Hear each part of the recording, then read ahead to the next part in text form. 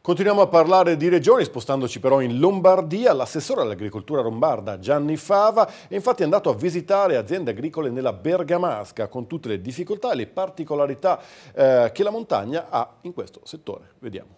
Senza agricoltura in montagna non c'è più neanche il territorio perché gli agricoltori sono i custodi del territorio in montagna e noi dovremo trovare delle modalità per agevolare questo tipo di attività. Devo dire che l'Unione Europea in questo ci aiuta perché la nuova programmazione comunitaria spinge verso forme di aggregazione che migliorano il prodotto, organizzazione del prodotto, tutte,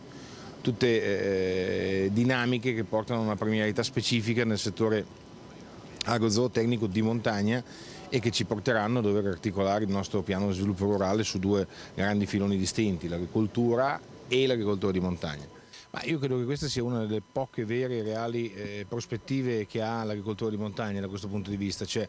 multifunzionalità, multidisciplinarità, la capacità di poter coniugare un'attività agricola vera, perché in questo caso stiamo parlando di agricoltori veri che fanno agricoltori addirittura con tecniche tradizionali, alla eh, possibilità insieme di divulgarla a un pubblico molto vasto come quello dei turisti piuttosto che degli studenti delle scuole, quindi una fattoria didattica che è fattoria vera, che non è solo didattica da questo punto di vista e che eh, ha fatto di una sorta di ciclo chiuso quasi totale una, una ragione di esistenza lui eh, produce eh, tutto quello che gli serve o quasi tutto quello che gli serve e lo mette a disposizione di, di clienti, di soggetti fruitori in una logica virtuosa.